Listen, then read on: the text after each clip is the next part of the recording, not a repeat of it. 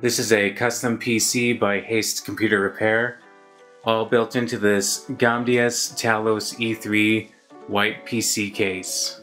So this PC has a Ryzen 5 4500 CPU, uh, 6 cores and 12 threads, and it has an MSI Duke GTX 1080 Ti graphics card with 11 gigabytes of GDDR5X memory, and is packed onto a Gigabyte B450M DS3H motherboard with Wi-Fi and Bluetooth.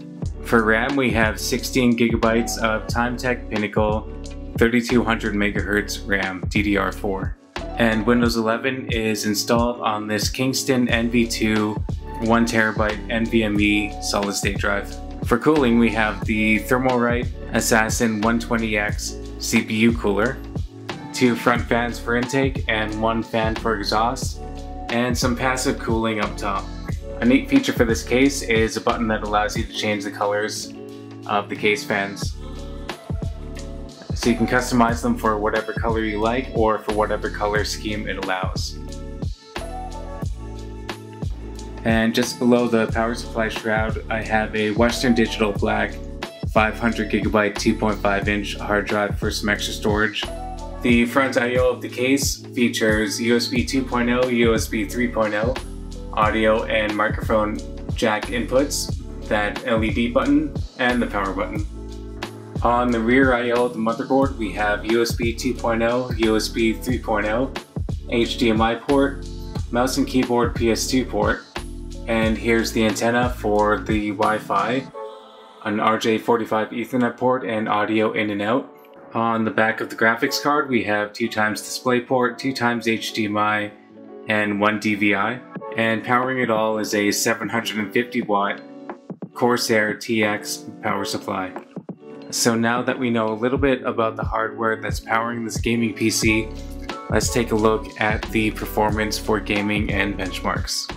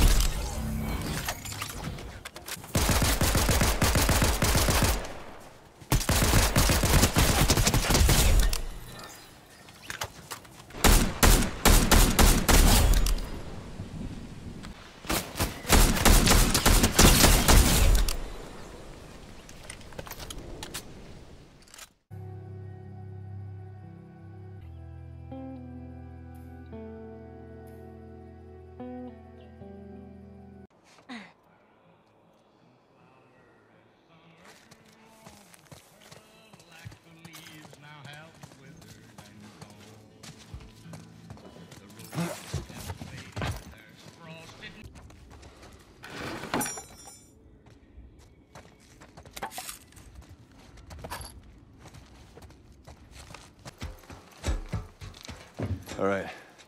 There's the bridge. That's our way out of here. Hey, Ellie, slow down. Wait for me. Nice to cut another batch of tourists. Spots a gold mine, lucky bastards. Oh, shit! Spread out! Son of a bitch!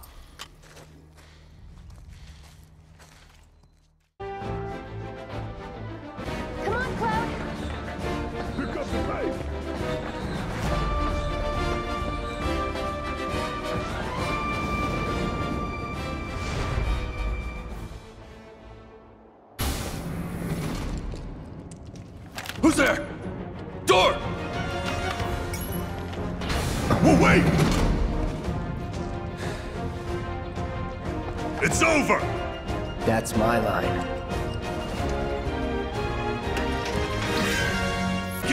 Make it rain! That's that. Enough.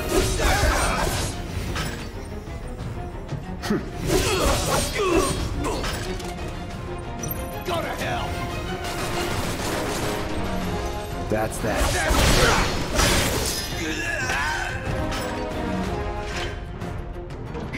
We're back. Then let's move.